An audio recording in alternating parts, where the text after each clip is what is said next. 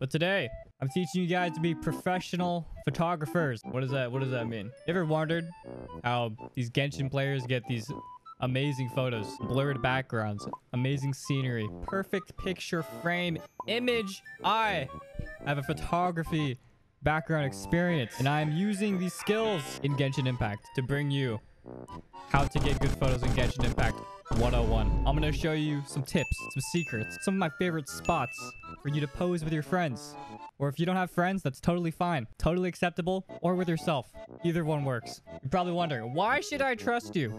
I don't even know who you are. You're just some, some dude who plays Genshin that likes Jean. Let me show you an image I have taken not so long ago. It's on Twitter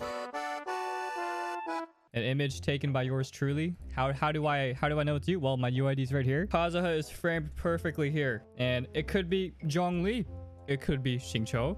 It could be Xiangling. It could be it could be anyone you want. You want your character in this image. I'm to teach you today. Now, we're to start with uh, Inazuma. Inazuma has brought many beautiful spots, sceneries, and uh, colors. A new a new batch, I guess? Palette of colors? But we gotta we gotta clear some rules up on how I uh, how I take my photos. You're gonna you're gonna take a photo. What do you do? Click the photo button, obviously. People like to blur and just get like, you know, the person focused, which is like, you know, that's cool. That's fine. Too many people do it and overuse it because they think blurry background means pretty. And in most cases, it does. When the center of focus is the scenery, you don't want to blur it. It, it. It's almost better to just have the background because that's the whole point of a scenic photo, a scenery.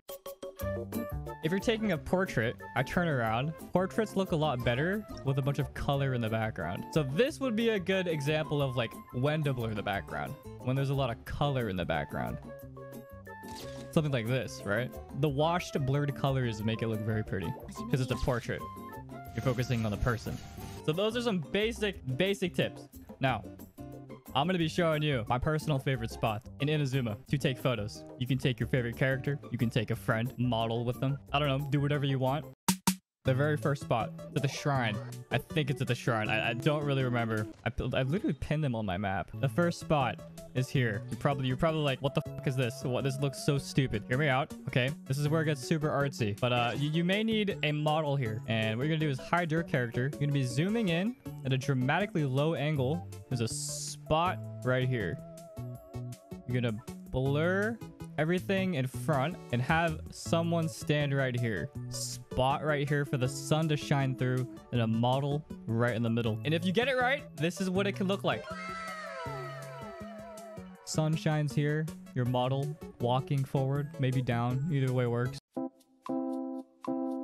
You're just gonna want to take a stroll here into this balcony. This is this is something I haven't shown on Twitter because I've been saving it. You're just gonna stand here and look out there. And maybe you have a couple friends with you. They can all stand by your side and look out in the distance. Maybe I can have a few people join. You know, who, who would like to participate with me in this uh, photo?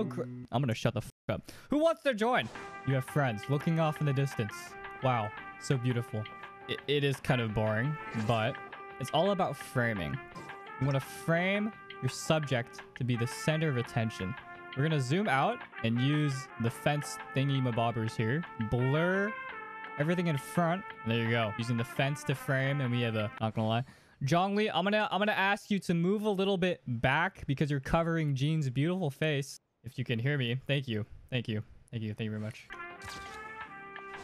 Yeah, just another uh, just another example of uh, the, the great potential of the photo camera. We're going to the spot of the photo I first showed at the beginning of this video. And all three of these spots are at the shrine, so they're very easy to remember.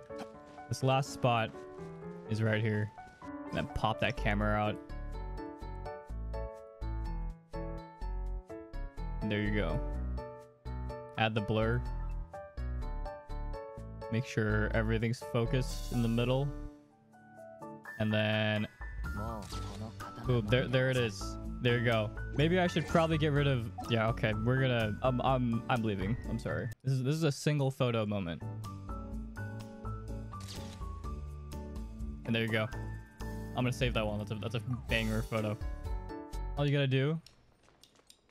Walk to the left side. Where the, the sun shines. Pose next to a pillar. Actually, this pillar. This pillar is better. Stand next to this pillar. You can change the strength of the blow however you want. I don't know why he looks so short. Did I just get ra- Oh my god, Lily Pichu just raided me. Whoa, whoa, whoa, whoa, whoa. Sorry, my notifs are off because I'm filming a YouTube video. Oh, I feel so bad. Uh, thank you so much.